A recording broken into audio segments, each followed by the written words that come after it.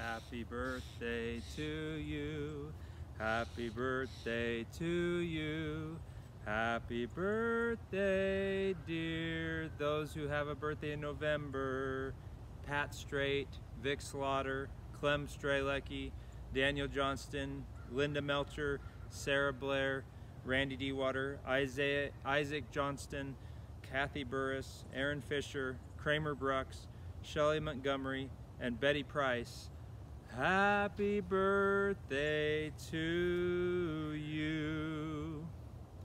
Happy birthday, church family. For those who have birthdays in November, um, let me share a verse with you as it relates to November and, and Thanksgiving is coming up at the end of November.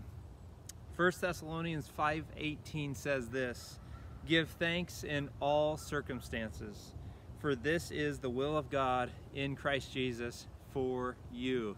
Yeah, we're supposed to give thanks year round, every day, and but here we are in November, and November is uh, is Thanksgiving month.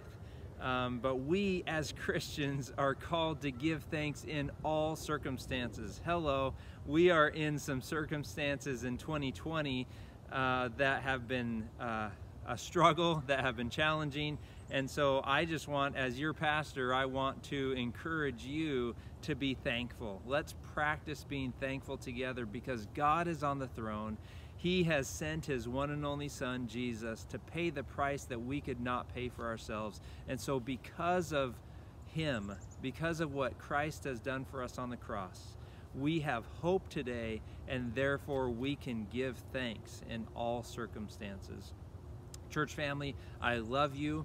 Um, this week, this week, November 2nd, 3rd, 4th, 5th, um, this week on Thursday, I'm not going to be doing a half hour of scripture reading like I have been on Thursdays. I'll pick that up again next Thursday. But uh, Lord willing, uh, there will be a devotion each uh, each day this week. A Monday, um, well, this is your Monday one. Uh, Tuesday, Wednesday, Thursday, there will be a devotion that will be available on Facebook or YouTube.